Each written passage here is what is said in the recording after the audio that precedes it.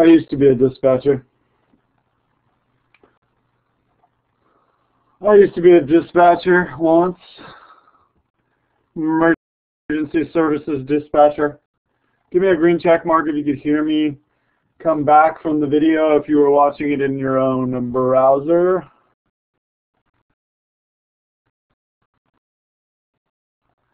Uh, that's not necessarily true, Dustin. It just means that, um, yeah, well, so,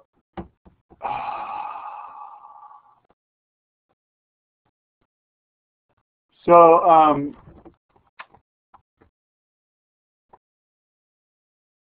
yeah, I, I'm just continuing to, um, I'm continuing to just encourage you to, oh, hi. Thank you. Thank you for letting me know. It's encouraging you to make sure that you're not educating yourself or training yourself into a career that is going to disappear in the next 20 years. So um, I encourage you all to watch that video in its entirety. Um, we only uh, watched just a couple minutes of, I think it's 17 minutes long, and it's all about it's all about the 15 jobs that will disappear in the next 20 years. So, um, and I've heard that from other sources. That was an Oxford study. I heard a podcast talking about, in particular, the drivers one. So, drivers is the single most um, it's the single biggest job for men in America. There's more men are drivers than any other job. And that that that that is going to disappear in the next 20 years. So that means that um, like I used to be a driver for a production company. I used to be what's called a runner. And actually my job is pretty much um, eliminated by um, high-speed internet and email. I used to drive around like CDs and DVDs to different um, places around Los Angeles. Um, and and that was before you could either set up like a Dropbox or having different kinds of Google Docs and things like that. We didn't have that yet. This is back in the 90s, late 90s.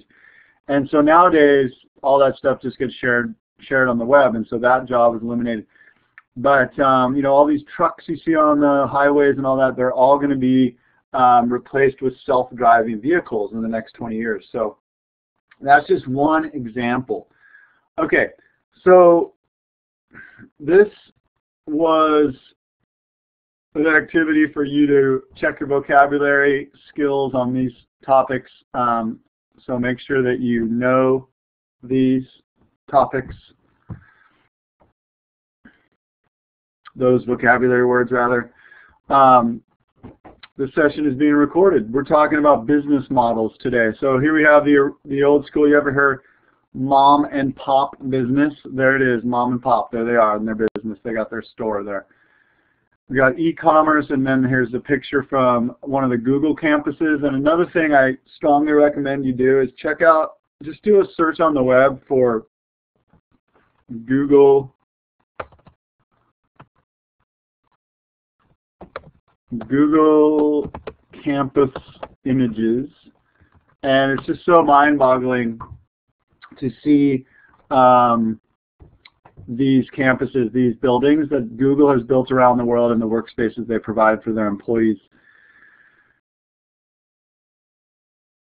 All right, fantastic.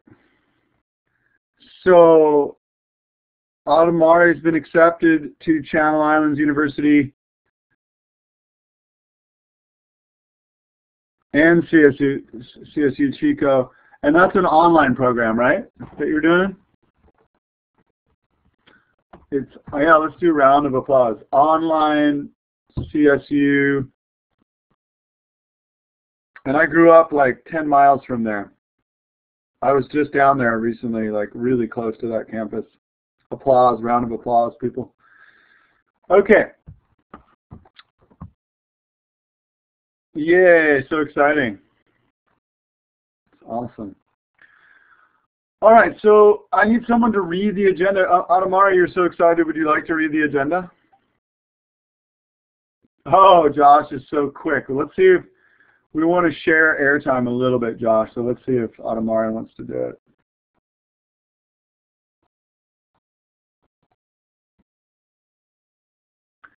All right, Josh, take it away. We'll give her another chance later.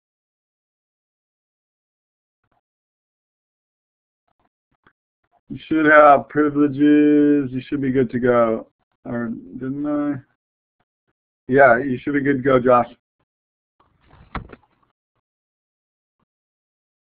Agenda, warm-up media consol consolidation, Good. impending doom reminder, 2.10 different types of business, 2.11 business business models. Okay, uh, thank you.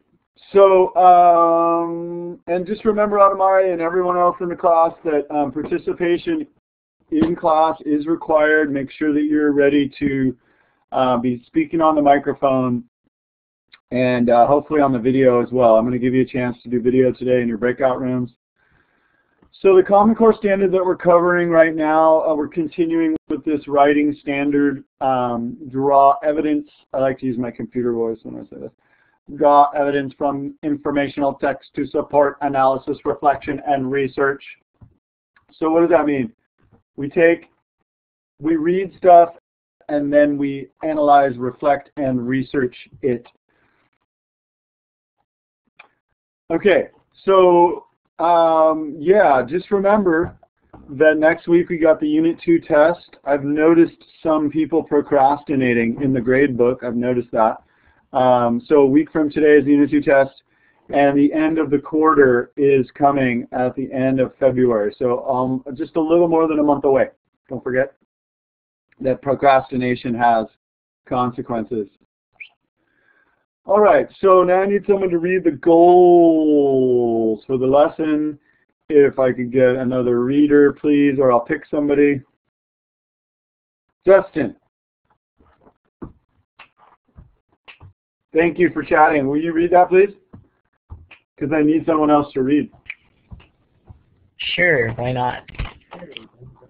Understand information business, media trend. Define different types of businesses. Explain the advantages and disadvantages of different types of businesses. Fantastico. Thank you. So that's what we're doing today. I mean, that's the goals for today. That and our writing standard, right? We got so many goals and agendas and things. Now, this is review from previous lessons that you should have already read about um, this topic of media con conglomerates, media consolidation, and I just want to draw your attention to this because it's something that you want to be aware of when you're getting your news from uh, wherever you get your news, that um, th there's been a tremendous consolidation, and that means that there's just very few companies that um, pr produce the that own the news outlets the media outlets in general, but I'm mostly talking about news right now. So back in 1983, when I finished middle school, before I went to, when I finished ninth grade and was about to go to 10th grade in high school, there were 50 media companies, okay, that had that did newspapers, magazines, TV, and radio, etc. But those primarily those. Now, well, in 2004 there were just five, and now there's like six. Okay, so, but that's not a trend up. It's just it's just this tremendous consolidation. Okay. So here here are the companies that own um, like 99% of the media, and you might have heard of some of these. So um, General Electric owns Comcast, NBC, um, News Corp, uh, an Australian company, owns Fox News, Wall Street Journal, New York Post. Disney has ABC. Viacom has um, MTV, Time Warner, CNN, and CBS has Showtime, Smithsonian Channel, NFL.com, Jeopardy, and 60 Minutes. Now, um, so you just want to realize that you know these are big corporations that aren't necessarily um, so concerned about the welfare of the average person, and so you want to you know you want to be skeptical of their coverage. You want to um, you may want to consider getting news from a variety of sources and companies that are not these, um, so you could uh, you know have unbiased news uh, on what's happening in the world. Okay. Podcasts are a great way to get a variety of, you know, like a podcast could just be a person, just one person that did some research. So they're not going to be influenced in the same way. Any questions about that or concerns? If you have any questions, please put it in the chat. I'm going to keep going, but I will be monitoring the chat. I'm just trying to keep moving here so we can get to our um, breakout room activity. Okay, where's my water? I left my water in the other room. Can you believe that? Okay, so these are the three types of businesses that we're going to look at today. Um, sole proprietorship, partnership, and corporations. Sure. And um, and so that is that. So what we're going to do is we're going to look at these slides here quickly, and then I'm going to be copying them into the breakout room. So um, I'm just going to give an example of a pro and con for each type, and then you're going to need to read it. What was that standard we said? Gather information, uh, gather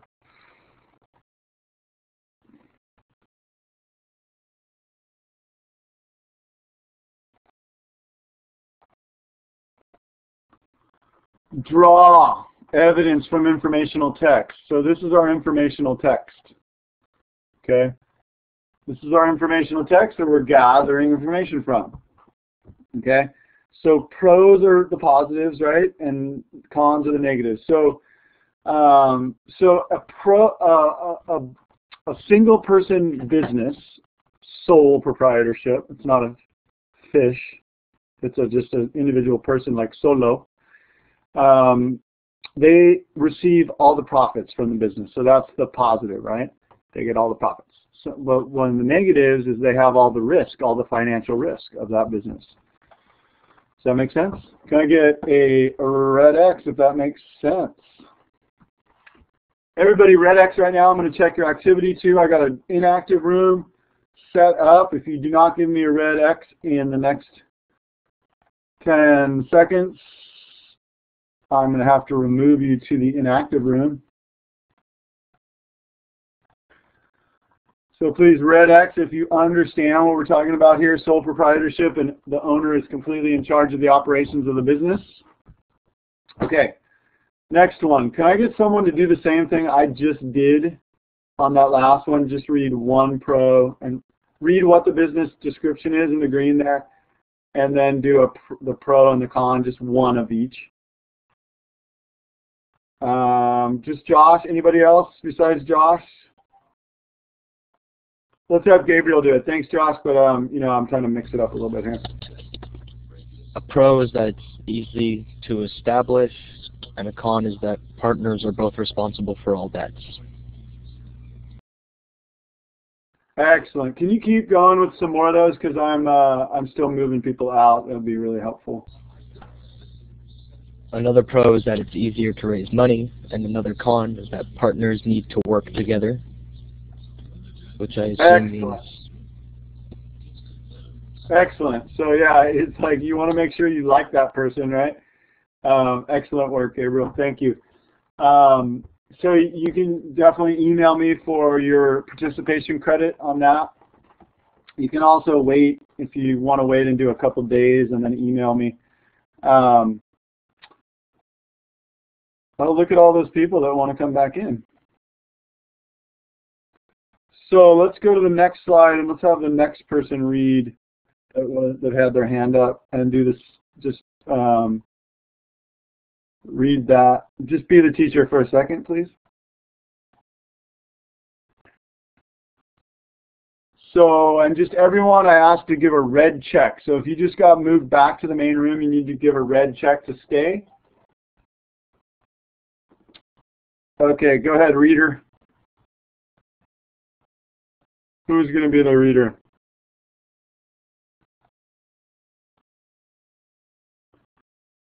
Okay, Josh, go for it. Corporations is a business that is a, legal enti entity on its own in which stockholders and the board uh, and the board of directors are in control. Well, what is a stockholder?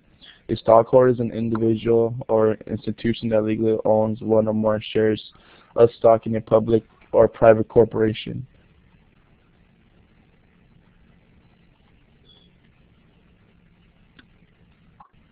That's so weird. How were you able to know that? that was like you were reading the slide we weren't on yet. That was so mysterious to me. I don't understand what's happening here.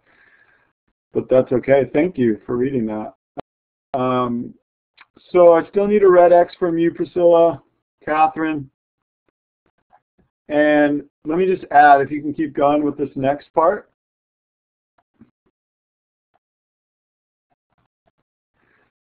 Uh, was that Josh or would someone else want to get some of their participation points? So if you get your participation points by reading like this, that's the easy way. Otherwise, you're going to have to do present. I mean, you may still need to do this, but um, if you get them piece by piece, like Josh gets a little bit each day, then he doesn't have to do a long presentation unless he wants to. Thank you, Lexi. Go for it. Are there any benefits to being a stockholder? Yes, please continue.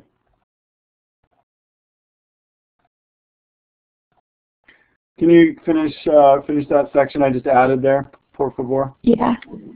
Um, if the company makes a profit, it has to pay the stockholder dividends, a portion of a company's profits. Only some companies pay dividends, more established own ones.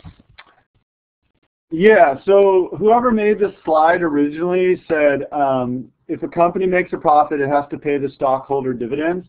That's not true all the time. So more larger, more established companies that issue stock as a public offering pay dividends. Um, that's the kind of that's the kind of stocks that I buy. Um, 99% of my investments in stocks are in that in that kind of stock. I mean, stocks in general are very risky investments, and we'll cover that more in Unit 4.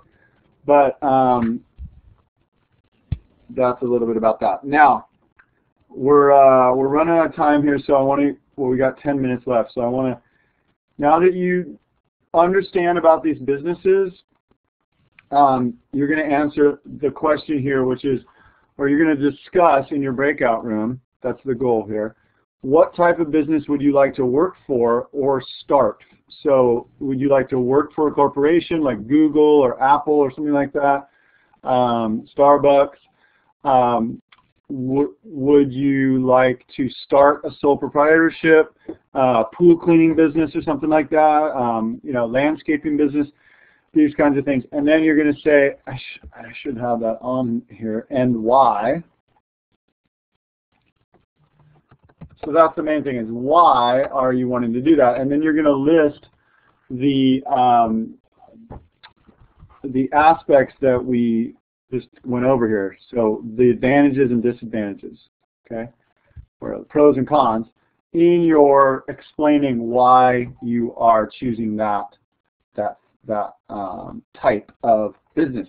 Okay, so what I'm going to do is I'm going to copy this slide and the other slides in, you know, the description, the pros and cons slides, into the breakout rooms, and then I'm going to open the slides, and you can click. Hopefully everyone knows these buttons up here. Those are the ones you can click, the forward and back buttons. Um, when I open up the slides, you can click through those to look at the other slides. Okay, and and figure out your answer. Now remember to drag your name to save time. Here we go. If you have any questions, put it in the chat, and I will try to get to that in a moment.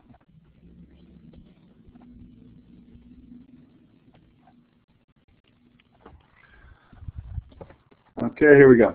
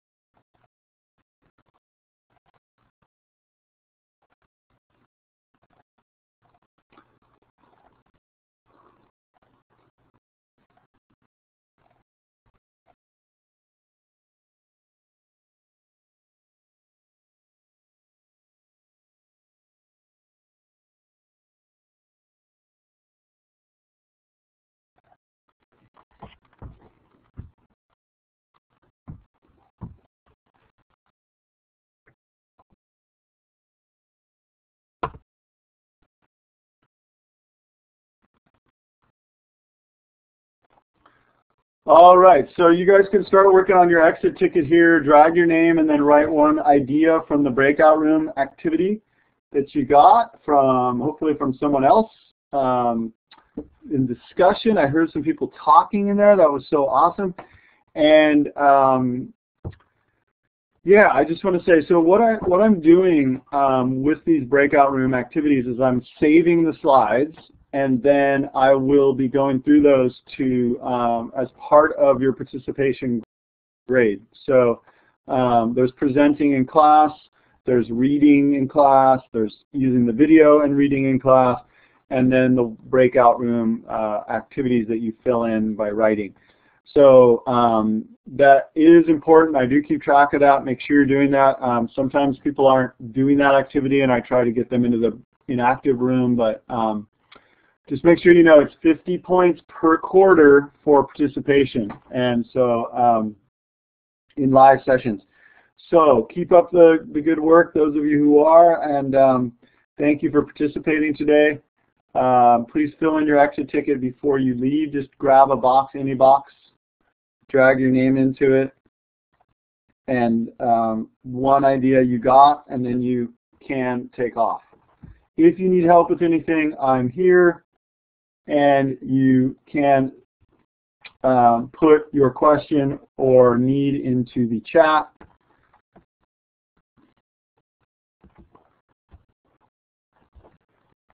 Have a great rest of your day, and we'll see you in class tomorrow.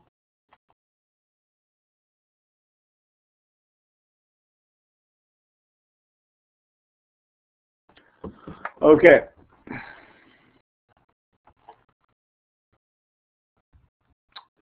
Oh, I'm so sorry. Okay, I, I didn't click the thingy. Okay, there it is. There's the exit ticket. Sorry. Thank you, Alyssa. Thank you, Dustin. Thank you, Dallas. See, I couldn't do this without you. I need your help. Yes, yes. Sorry. There's a lot of clicks required. I forget sometimes.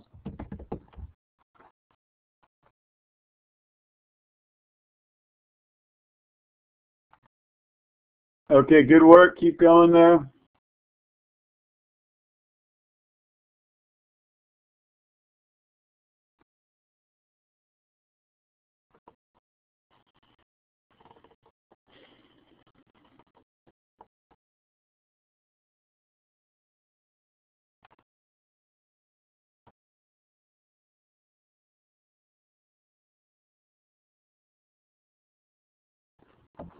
All right.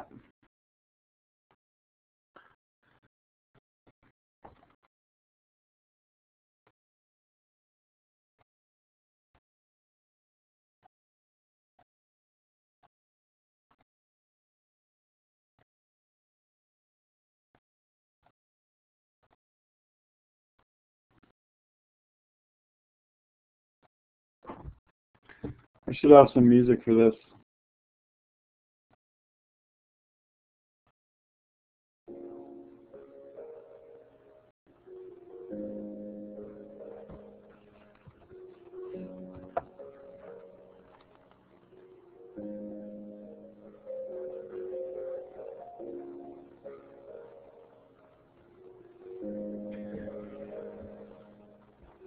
Yeah, you can always jump on the mic if it's open and say, Mr. Bourget, we can't see the exit ticket or whatever.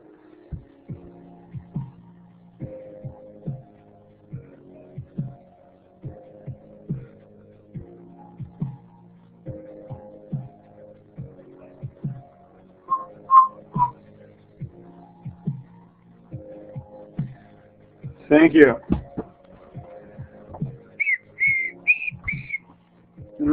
To watch the rest of that video that I showed at the beginning.